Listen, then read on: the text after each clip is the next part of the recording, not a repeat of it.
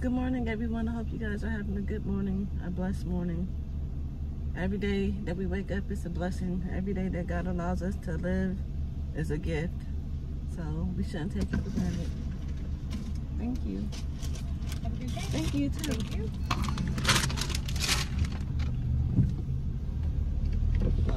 I had to stop and get me some breakfast. And I absolutely do not feel like eating, but I know I have to make myself eat something because I do not feel like eating at all. But I have to eat with my medicine. But like I was saying, every day that God gives us, that He allows us to wake up, is truly a gift, and that we should not take it for granted. Um, what made me, uh, what brought this along is that my husband just recently had three deaths in his family within the last month and a half. His aunt, not his, um, she's like his great aunt, she passed away. And I could see if she was like older. She's not older. His, if um, you guys don't know, because I have never spoken, but his mom, my husband's mom, had him at a really young age. So his great aunt is more like, you know, she was a she wasn't that old yet, and her death was suddenly. And then after she passed away, his cousin passed away, who was 40 years old, and he died of a heart attack in his sleep. He passed away. Very unexpected, very suddenly. We just went to his funeral yesterday. And then, literally a week later to the day, another cousin of his passed away. So, we're going to her funeral this weekend. Excuse me, guys, my sinuses are draining. And um, it's like we, um, as people, we wake up every morning and we just go about our day, and we don't even stop or pause for a second to give God praises and give God his due for allowing us to wake up. We go to sleep at night just thinking and expecting, oh, well, I gotta wake up in the morning, go to work, do this, do that. But you, some, some of us are going to sleep and we're not waking up. We're not waking up in the morning. And his cousin that passed away, whose um, funeral we attended yesterday, it was a very nice service. It was sad, um, of course, and it's hard when it's like somebody that it's like close to your age or your age and you because it really makes you think and gets your mind wondering like you know anything is, can happen. This man was healthy. He exercised. He ate good. You know he had some health issues or whatever that we didn't know about but other than that like you you never would have thought that he would have had a heart attack right? So we we never know what's gonna happen. And we can't live our lives as if like it's just guaranteed because it's not. And the bible says that life is a vapor. You know we're a mist. Life is a mist. You know be here today and it's gone tomorrow. Like it's not promised. It's not guaranteed it's a gift from god and that gift is so that you can do his purpose and his will and complete your mission we are all here on purpose we are all here to complete a mission we are all here because we have a job to do and unfortunately, the enemy doesn't want that to be done. He wants to stop it at all costs. He doesn't want you to have anything. He doesn't want you to be able to do anything. He doesn't want you to be able to save souls. He doesn't want you to be able to complete your mission. So everything that God gives you and preps you with to be able to complete your mission on this earth, all the giftings that he gives you, all the anointings that he gives you, everything that he puts on you so that you can be effective in the body of Christ, the enemy wants to strip it from you and take it away from you. So that you can he can he can destroy you so that you can have nothing and so that you can complete your mission. You can't fulfill your purpose. Too many of us are out here dying too early. Too many of us are dying away before we can get the job done. And I refuse, I refuse as a woman of God and a strong believer to allow what God has given me to burden my children. Because what he has for us is for us. And if we don't complete it, then it goes on to the next generation. And the, but they already have their mission. They was born with a mission too. So how is it fair for them to have to take on our responsibilities as well as do their own. We got to step up. We were all born for a time such as this. We were all born for a period, for a moment, for a time. And only God knows what that is, but he reveals it to you. When you seek him earnestly, he will reveal it to you, your purpose. And he prepares you for that and the spiritual. And that's why it's so important. Like, yeah, you watch uh, YouTube videos or you watch sermons or you read books or uh, listen to podcasts or whatever it is that you do that fills your spirit. But the only, there's no one who can fill your spirit like God. There's no one who can fill you like the Holy Spirit. There's no one who can teach you like the Holy Spirit. And that's something I had to learn for myself. Because, yeah, I was watching certain videos and stuff and uh, edifying myself through that because it was some good teachings and it helped me a lot spiritually. It built me up. And uh, God will lead you to what He wants you to watch and what He wants you to see. You know, everybody is not for everyone, and it's not for a, a, a long-term thing. It's for a season or a time period in which God wants to reveal something to you or to teach you something. That's what I'm learning for myself. I'm sorry about the sun. That's what I'm learning for myself. And I decided that I'm silencing every voice that's not the voice of God so that I can hear him clearly and do exactly what he wants me to do. I'm not going to allow confusion to come in because I'm listening to Peter, Paul, Jake, and Sam. Like, I'm not going to do that. And that's what I was doing. It's not like I was like doing everything or, you know, um, but just allow myself to be open to too many voices. It's just too much. The only voice I need to hear from is God. So I decided that I was going to unfollow a lot of the people that I was following, which wasn't even many people it's just over time, it was a lot of people, and I dwindled it down to just one person. Then now I'm not even watching that person. So I'm like, if God wants to speak to me, He's gonna speak to me. And if He wants me to see something on YouTube or Facebook or it's whatever, He's gonna lead me to that and guide me to it. It's not for me to jump on Facebook or YouTube or whatever, whatever social media, and just start watching like binge watching certain people's videos or trying to keep up with everything they say because everything is not for you and everyone is not for you. God will have you in a place where you're in a season of training and he's been training me and it's been good and it's been uh, I've been hard-headed sometimes a lot of times and so I don't even know how to explain it but in my heart right now how I feel right now is that I literally don't want anything but God. Like when he says seek me, seek me, and then I seek him earnestly. Like that's what I ooh, when I tell you, that's what I want. That's what I need. Like I only want God. At this point, that's all I want. He's the only one who can fill me. He's, he's the only one that can give me what I need right now, at this moment, at this time. Nobody else can do it. And so I just want to encourage everybody, man, just seek God earnestly.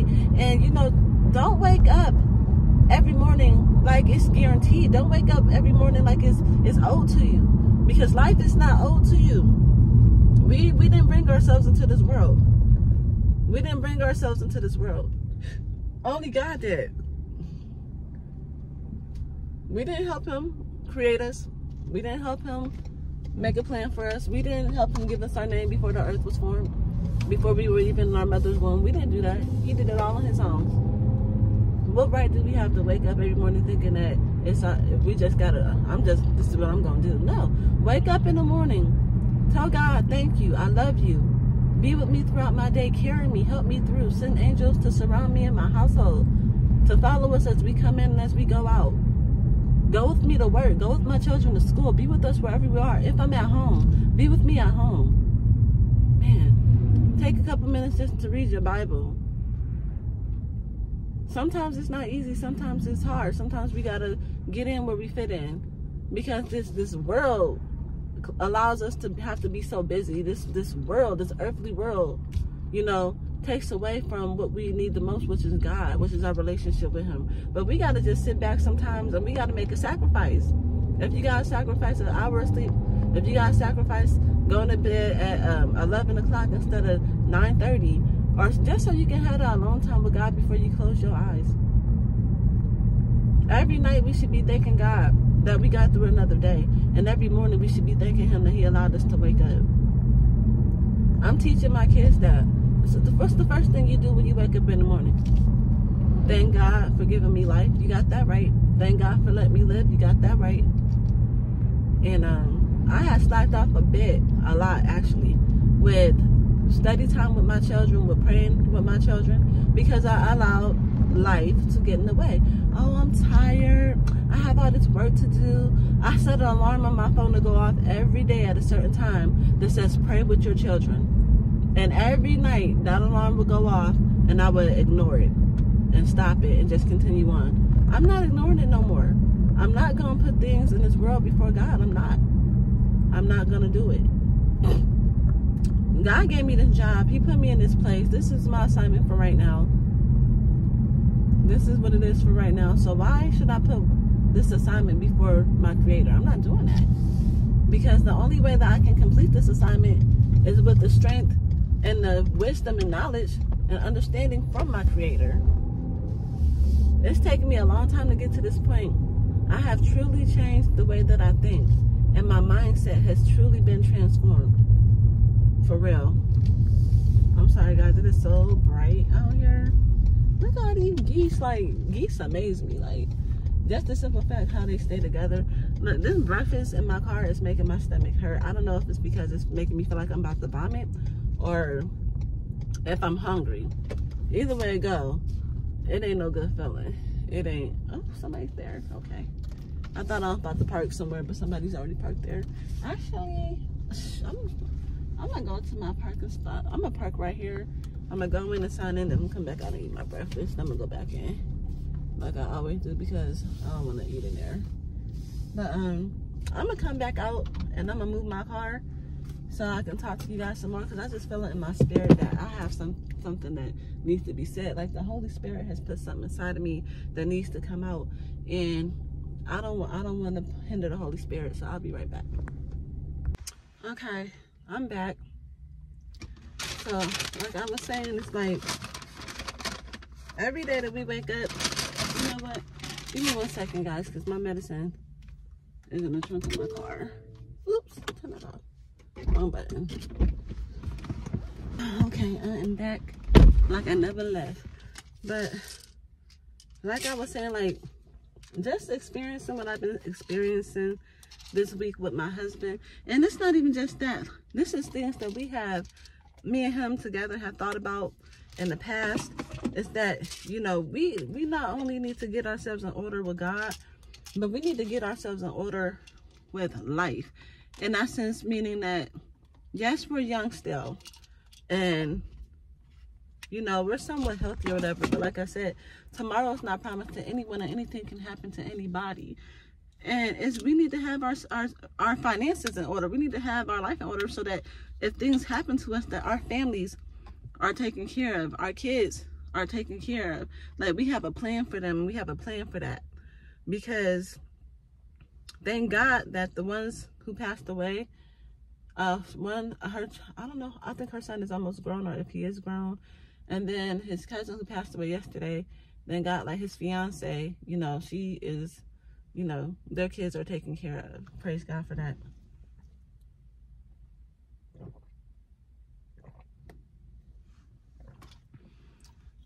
But like, you want to make sure your kids is okay.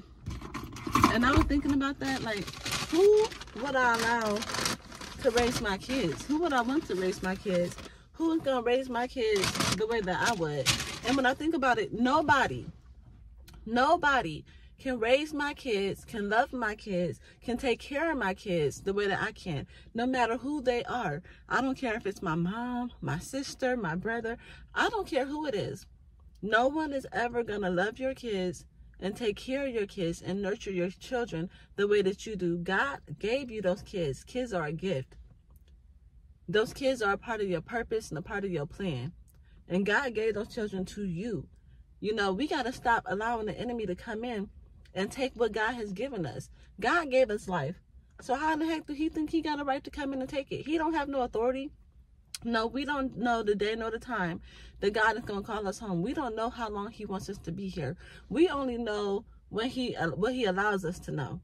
And praise God for the ones who he has warned and shown that okay i'm it's time for you to go because you're done here what i needed you to do has been completed here and what really had me going was last week i want to say it was either last week or the end of the week before, my son, and I don't think I, yeah, I haven't been on, my son came to me and we were sitting in the living room and he just came over to me and he was just started crying and I'm like, what's wrong? And he was like, I don't want you to leave me. I don't, I don't, um, I don't want you to go. I don't want you to leave me. I don't want to lose you. And I'm like, what's going on? I was like, I'm right here. I'm like, I'm not going anywhere. I was like, my time ain't done yet. I said, God ain't finished with me yet. You know what I'm saying? I'm like, I'm still here. And I was like, why would you say that? I said, what's wrong? Why would you say that? He was like, I was just thinking.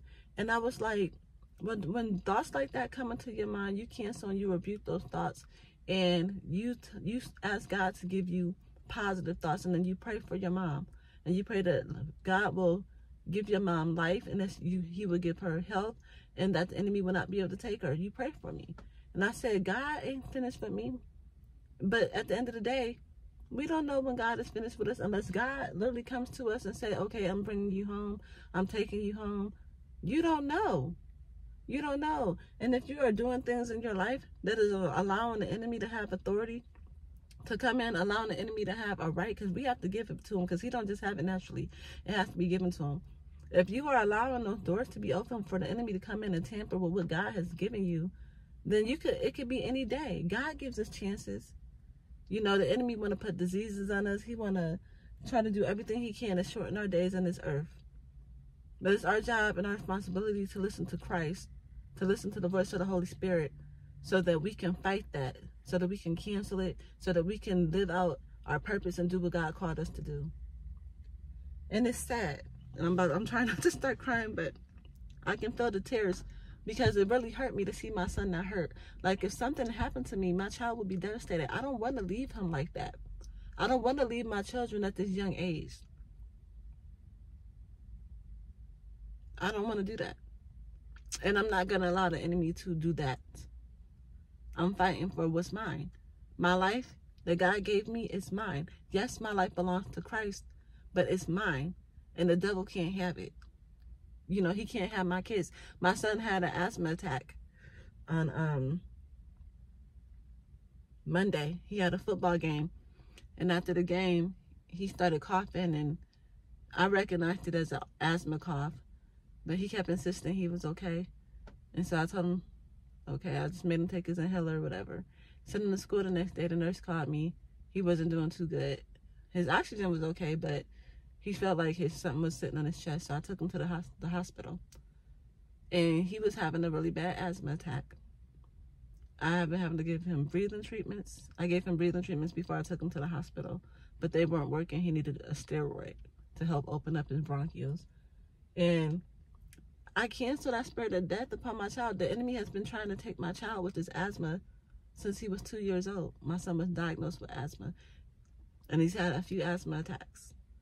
And I refuse. And I always pray. And I know that God is going to get the glory because I have fasted for my son, prayed over my son, declared, decreed over my son. I have canceled. I have done everything that I know as a woman of God, as a Christian woman, led by the Holy Spirit to do to get rid of that infirmity of asthma and the allergies because he has really bad allergies off of my son a lot of things is like generational, you know, and they travel through the bloodline. And so we break those generational bloodline curses that allow those things to come in. But when when when you don't see something, your, your child being delivered, and you know you're praying, you know you're doing what you're supposed to do, then you know that God is going to get the glory out of His life. He is. And um, I was asleep yesterday morning, and I heard myself talking to my son in my dream, and I said, did you do your breathing treatment? And I think he had said no. And I said, you need to do your breathing treatment. And I said, I'm telling you for a reason. And I was halfway in between sleep, and awake. And I almost let my son go out the door without doing the breathing treatment to school.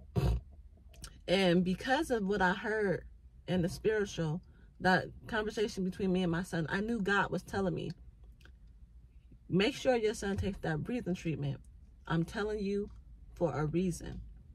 So I called my son. I said, go in the kitchen, let's get you a breathing treatment before you go to school. Because I know for a fact the enemy had a plan to try to use that asthma against my son on that day. And my Lord, my God, my good God,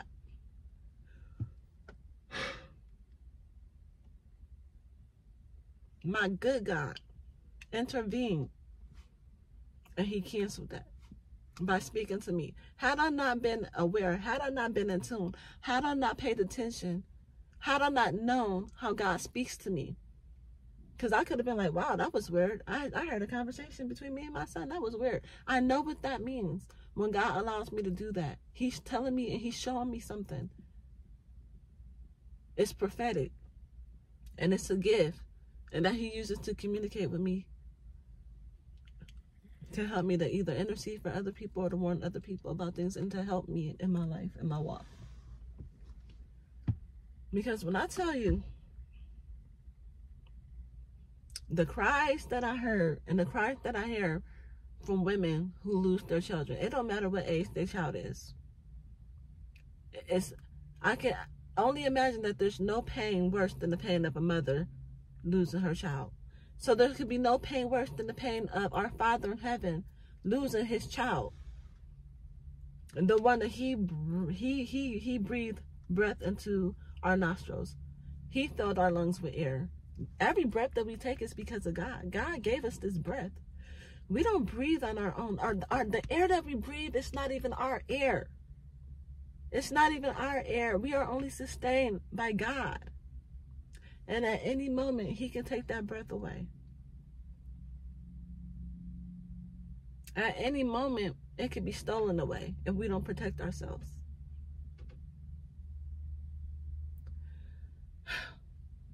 I pray that this helps somebody.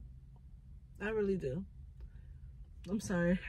I'm trying not to cry before I go up in this place. I'm trying not to get myself emotional. Kids are our, our kids are a gift. Our family is a gift. We can't take each other for granted. Yeah, it can be hard sometimes. Being a parent is hard. Being a wife is hard. Being a sister can be hard. Or auntie, whatever. Life can be hard. But there's nothing like what God has given you. Sit back and really think about your life. Really reflect on your life and everything that God has given you. Me and my husband had a discussion last night. You know, because of certain things that he's doing.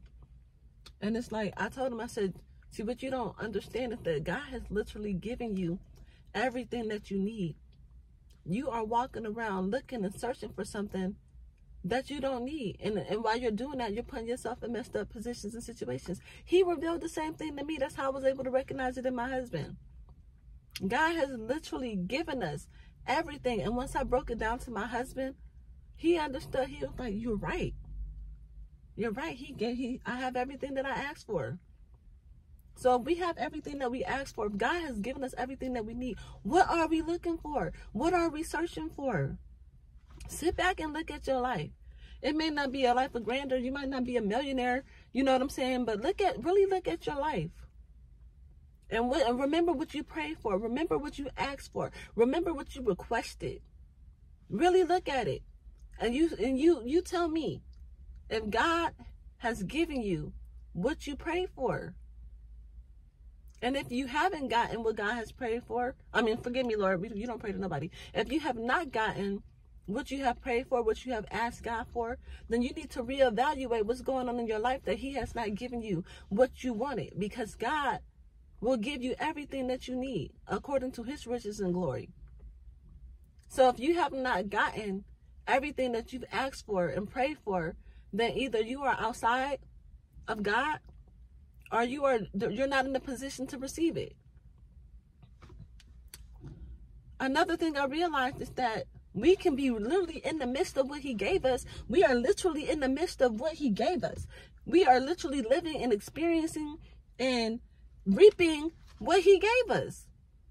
And we don't even recognize it. We don't understand it. And we don't appreciate it because we, we can't see it. We don't recognize it. We're too caught up in everything that's going on. Oh my gosh these bills. Oh my gosh this job. Oh my gosh. But we're not understanding. We're not understanding because we're letting everything around us fog us, blind us, so we can't see. But when you really open your eyes up, when God really reveals it to you, when you really see it like, man, what am I looking for? What am I doing? The problem is that he gives things to us and we don't recognize it because we don't know how to manage what he gives us. We don't know how to take care of what he gives us. We don't know how to nourish and nurture what he gives us. So we can't see that we can't see it. My husband used to tell me that his mom always told him, you can't see the forest from the trees. Meaning that you can't see something that's right in front of you. You blind. And that's how we be in this life. We be like, Lord, please bless me with the finances to make sure I can pay my bills. And he gives you a job. But the reason you can't pay your bills is because you're mishandling your finances. You buying stuff that you don't need to be buying. You overspending. Or you, you instead of paying bills, you out there going out hanging out and buying clothes. I've been there. I've been there. God has always made a way. When I was down to my last penny, when we didn't have anything, because we have not had any, we, it's been times, okay? I will tell you, me and my husband had a time where we were literally splitting a McDonald's combo meal because that's all we had enough money for. And back in this time, I was smoking and he was smoking, but I didn't smoke cigarettes. I was smoking Black and Milds. We had enough to split a McDonald's combo meal and to get me a pack of Black and Milds and get him a pack of cigarettes. That was all the money we had. And we was in the middle of a transition of a major move. And we did not get any finances until after the move. We had to fly to a totally different country with nothing. I got there and didn't know how I was going to feed my kids. But God always makes a way. When I was down to nothing, God always made a way to make sure my kids always, and we always have what we needed that we always have what we need. We have to stop taking for granted the things that he gives us. And we have to start allowing God to manage our lives. Okay, we say, Lord, you're my creator. You're my sustainer.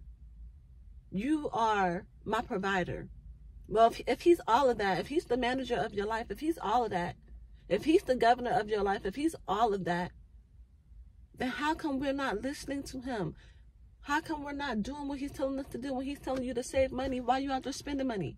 When he's telling you to seed into a ministry or to, to um, donate or to help a family or help a person, why are we ignoring it?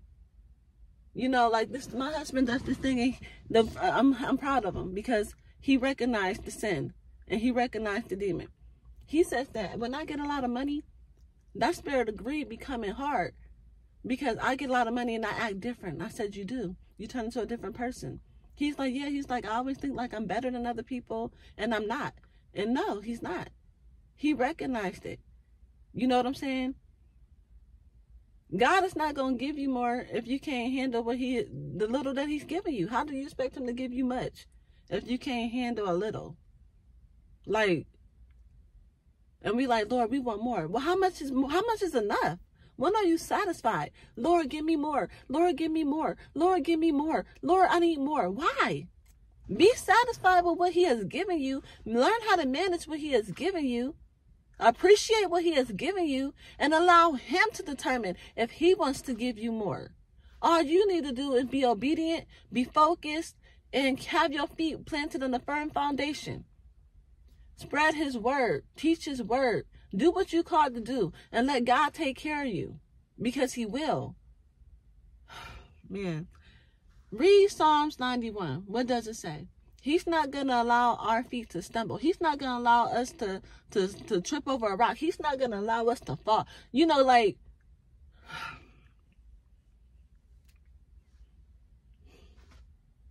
Psalms 23. The Lord is my shepherd. I shall not want. The Lord is my shepherd, I shall not want. Why do we want? We want everything that we see. We want the new car. We want the nice house. We want the new shoes. We want to go to Bath and Body Works and get all the perfumes that are on sale. You only have, this is one body. How many perfumes do you need? Like I'm talking to myself. I'm talking to myself right now.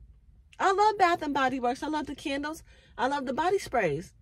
But they're sitting there building up dust because I have maybe two maybe two or three that are my favorites that I wear on a daily basis, and the other ones are just there when I felt like, oh, when I, I just want to, oops, okay, maybe um some of them haven't even been used. And here I am looking to see, oh, what they got on sale. What, what do they got body sprays on sale? Do they got candles on sale? What what do they have on sale? I'm at the point now, I'm not buying no Bath and Body Work candles. Them candles are expensive. That's that's gas in your tank. Okay? And they're raising the prices. The body sprays, the lotions, everything's going up.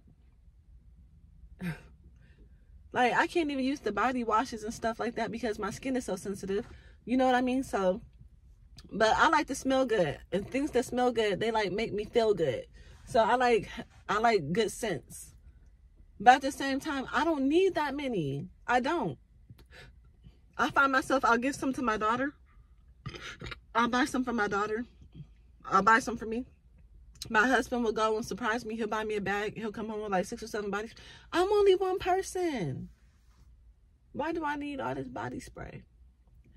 I don't really care for perfume. Perfume tends to be too strong for my nostrils. I like subtle scents.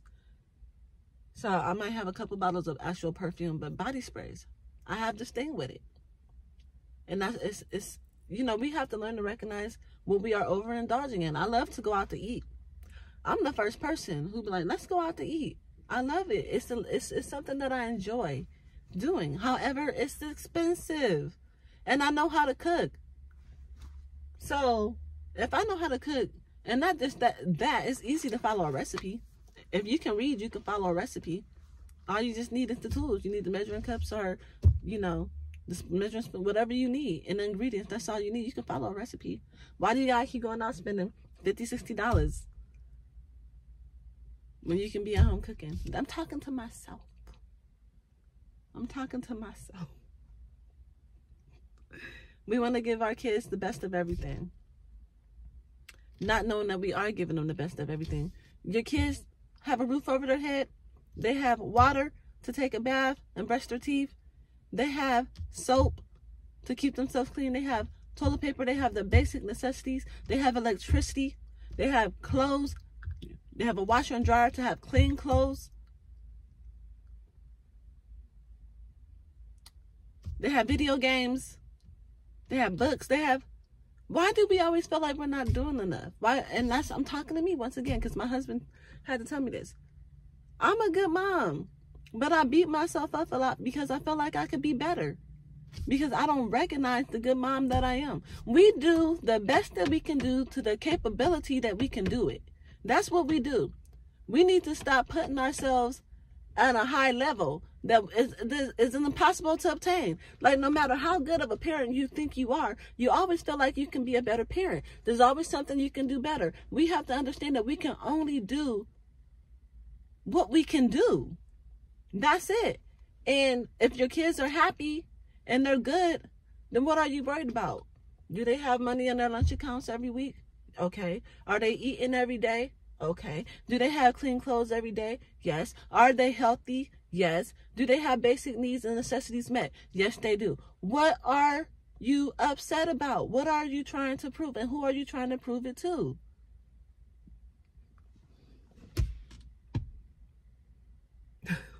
we go through this life with this false expectation that we have to be the best and the best of the best of everything. Everybody's running this rat race. Everybody wants to be in competition. Everybody wants to keep up with the Joneses. Last night I had to teach my kids the definition of the word covet because we were praying and we were reading these prayers. And I said, what does the word covet mean? Can you tell me what the word covet means? And I explained to them, it means to be jealous. It means to want and desire something that belongs to somebody else that somebody already has. No. If you see somebody with a nice pair of shoes, like my son, he, he likes Jordans. You can't always get Jordans. You know why? Because Jordans is expensive. You an 11-year-old child, and I don't feel like you responsible enough to take care of them shoes and that you need a $100 pair of shoes. Okay? I have a limit. Now, sometimes I want to splurge and do something nice. I might surprise and wear a nice pair of shoes. Other than that, you're to get what I can afford, right? But he'll see somebody with shoes, and of course, he's at that age, and he's like, oh, well, Jordan, how did Jordan get all these Jordan? I don't know. His mom must sacrifice something so that she can afford to keep her son in those shoes. Because guess what? Food is more important than shoes. Do you want to be hungry or do you want a new pair of shoes? What you want? For real. And that's what life is really coming down to. You know what I'm saying? Like, I don't even want to get into it. You know, I tell my daughter, like, she can she beats herself up sometimes if she gets a, a bad grade or because she's used to getting good grades and and a bad grade of hers like a C. And I'm like, don't be jealous of anyone who's doing better than you and getting better grades than you. I said, I told them we should be happy for each other. We should we should be happy that excuse me that they're doing good and that they have nice things because we know that what God has for one, He has for all. And if they're not getting what they have rightly and justly, you shouldn't want it anyway because it's temporary. And what's done in the dark will surely come to the light. I had to learn that. When I was in school, I was highly, highly jealous of people. And and it wasn't just like I wanted to be like people or I wanted to have people. I had I be like I wanted to have what they have. I mean, I had really low self esteem when I was in high school. I had really uh I had self identity issues when I was in high school. It took me until I was a young adult to to to really embrace myself and who I was. I looked in the mirror every day and I thought I was ugly. I thought there was nothing pretty about me. I had to train myself up and teach myself that I was pretty. I remember I was in church one day. I was at high in still in high school, and the pastor was prophesying over me. He said, "Stop comparing yourself to other women in your family," because I would do that. Why am I so big? Why are they so small? How come I gain weight like this and they so skinny? Like, God made me how He made me. He made you how he made you. Be happy with, with how with how God made you. There's so many things going on in this world that cause our children to have low self-esteem, that cause them to have identity issues because they feel like they have to live up to an expectation of society. Oh, all this makeup on their face, fake eyelashes, fake hair, fake nails, fake breasts, fake butts, uh, uh these clothes. Like, who are you? You have covered yourself up so much you don't even recognize you. And not only do you not recognize you god don't recognize you. Because you done did so much to your body. You have changed what he created so much and altered what he had created so much that he don't even recognize his child no more. All because of what society is saying we should be looking like and how we should be dressing what we should be doing. I done seen so many beautiful women Beautiful women messing up their face and their bodies with plastic surgery. Having children and their kids don't even look like them because they have changed their features so much. Your child, your child don't look nothing like you. You can't say, "Oh, my baby looks just like me." No, she don't. She don't look like you. And not only are women having these issues, but men are having these issues too. Don't think that men don't have identity issues. Yes, they do getting fake muscles and stuff put in there for what? Be happy with what God give you. Work hard if you want to do better. Like, why do we make this life harder than what it has to be? The devil, Satan, the enemy, Lucifer. We give them too much credit. We give them too much room. you know what? I got to eat this food. It's been a half an hour. I got to go into work and I'm going to have to take this food with me. But I pray that you all have a blessed day. I do. I pray that anyone who is struggling with anything that I mentioned, that God will be your deliverer. That you will see your worth, that you will see that you are doing the best that you can do right now at this time. And if you know that you can do better, then you can sacrifice that time to do better. Five minutes out of your day ain't much. When you in the car, that ain't much. Park your car in your parking lot or in your garage or in your driveway and sit in your car for five or ten minutes before you go in the house when you know your kid's about to be on you. Lord, I'm to take this five, ten minutes to talk to you. I just want to thank you, Lord God, for being a part of my day, for helping me get through this day by your strength, Lord God. I thank you for the joy that you have placed in my life, for the family that you have given me. I thank you for the ability to go out there and make the money that I need to support my household, support my children, Lord God, and, so, and be an active part of my community. I thank you, God for being with me and keeping me safe from harm and from the schemes of the devil, for protecting me from these witches and these warlocks. I thank you, God. Now, as I go into my house, Lord God, I ask that you would give me peace, patience, and an understanding to be able to deal with my children in the way that you want me to deal with my children. Teach me, Lord, how to be a better mother, how to be a better wife, how to be a better friend, how to be a better sister, how to be a better a better child of God. Teach me how to love like you. Teach me. And he will teach you. So I pray for all my sisters and brothers in Christ that God be with you, that you are blessed. Know that you are blessed. Know that you are favored. Know that you are loved. Know that you have purpose. Know that you have a mission. Know that your life is not in vain.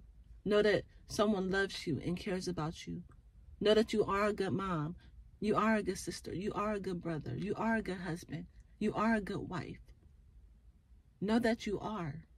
And if, that, if no one loves you and appreciates you, God loves you and appreciates you. And he sees your every pain and your every struggle. And he hears your every cry. And he is the comforter. Turn to him and call on his name. That's all you have to do is call on the sweet name of Jesus and he will be there. When you have no one, he's always there. Don't let the enemy lie to you. Don't let him tell you what you're not. Start commanding what you are. What you are in Christ. In the mighty name of Jesus. Shalom.